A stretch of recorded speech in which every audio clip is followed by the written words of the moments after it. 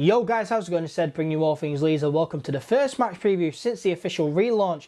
And it is a match preview of Leeds United's game on Saturday. Sees the Whites take on Bristol City at Elland Road. It's on Saturday afternoon and a 3pm kickoff as well. Not many times that we see those, is it? Uh, but we will start this match preview off as we used to always do. And that is talking about our club that we love, Leeds United and Leeds. We don't go into the game in great form, do we? Two losses in our last five games and one of those coming against West Bromwich Albion before the international break. We, of course, got hammered 4 1 at the Hawthorns. Uh, so you've got to wonder the mindset that the players are in, don't you? You know, the confidence would have taken a knock. You know, a 4 1 defeat is heavy and it is damaging as well despite our league position. So you got to wonder about the mindset and, you know, the confidence of the players heading into uh, Saturday's game. Of course, it has been the international break, though, so hopefully Marcelo Bielsa's put them through uh, their paces uh, during the break and uh, worked on the weaknesses because against West Brom, it was clear to see where our weaknesses lie, wasn't it? Um, we need to win. It's a must-win game. I would class it as a must-win game. You know, it's one of the biggest games of the season. You know, we've we've seen how the players bounce back from defeats. Uh, you know, during the season. You know, we lost two one away at Blackburn. We lost uh, two uh, 0 at home against Birmingham, and players bounce back in style. Uh, but a four one defeat against West Brom. You know, it'll be interesting. You know, all eyes are on us uh, to see if Leeds United can bounce back, turn that poor form around, and um, you know bounce back with a win. You know, it will be interesting. Like I say, I would class it as a must-win game, and the players need to step up and uh, improve. And it's not going to be easy uh, against Bristol City, but Leeds. We are, of course, still in third, but we are three points off first place Norwich, and we are only three points from seventh as well. So we need to win if we want to stay up there and mount a promotion push.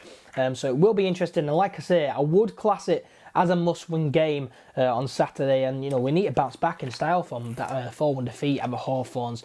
Uh, and like I say, you know, despite Bristol City's recent form that I'll get onto in a sec, you know, it is going to be a difficult game. There's never an easy game in the Championship. But Bristol City, they are going into the game on the back of three losses in a row, and uh, two of which were at home. they lost against Stoke, and then in the last game, they lost 1 0 at home against Preston North End. So, not good form at all.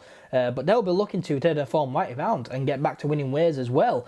Um, and you know they they are in 13th, 22 points only, but they are five points off the playoffs, so they may look to try and push for this top six where they have been uh, in recent seasons.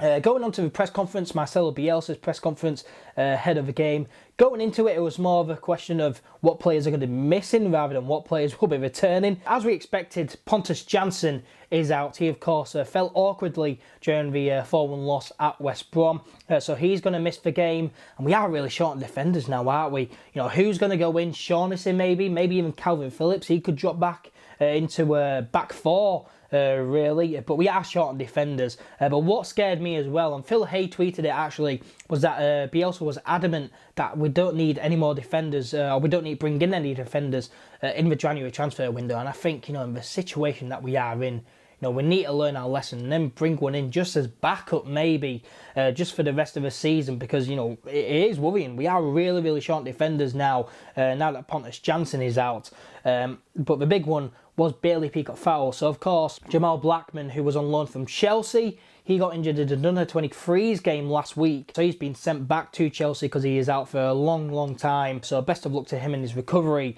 Uh, but our other only senior goalkeeper as well, Bailey Peacock-Farrell. He is now out with a knee injury, so he is expected to miss this Saturday's game.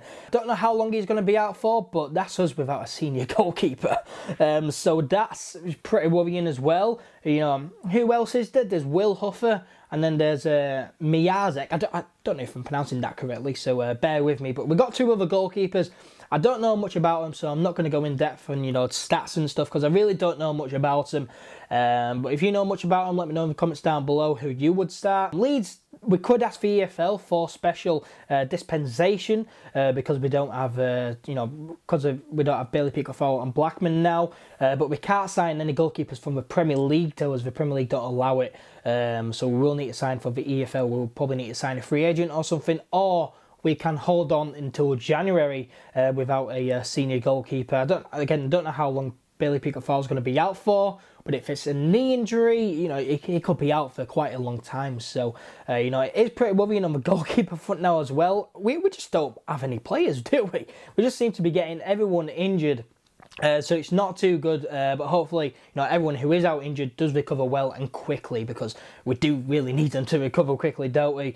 Um, I won't predict a lineup, uh, starting lineup like I used to do. I think if you could predict a lineup and get it spot on for this Saturday's game, you know, it'll be a miracle and well done to you. Uh, but I will let you guys who are watching the video uh, let me know in the comments uh, your predicted lineups if you want to go ahead and do that. I will predict a score though. so, fun fact Leeds United have only lost once in our last 12 meetings against Bristol City in the Championship. That's bringing from November 2010. And I think that it will stay that way as well. And despite our lack of defenders and lack of goalkeepers, I do think that we will keep a clean sheet. And I'm going to go for a 2 0 win to Leeds United. And let me know all your score predictions in the comments down below. And like I say, if you want to have a crack at predicting the uh, lineup, let me know in the comments down below as well. If you are new to the channel, make sure you subscribe as I'll be pumping out loads of Leeds United content uh, in the next few days. I will, of course, be uh, vlogging the game. There'll be a match report. And then there's a podcast coming out next week as well, so a load of Leeds United content to look forward to.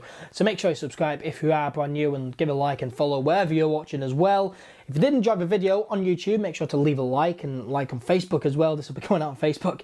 I'm just going to plug everything at the moment. Uh, but yeah, if you did enjoy, make sure you subscribe to the channel. If you did enjoy, make sure to leave a like on the video. And I will see you guys next time.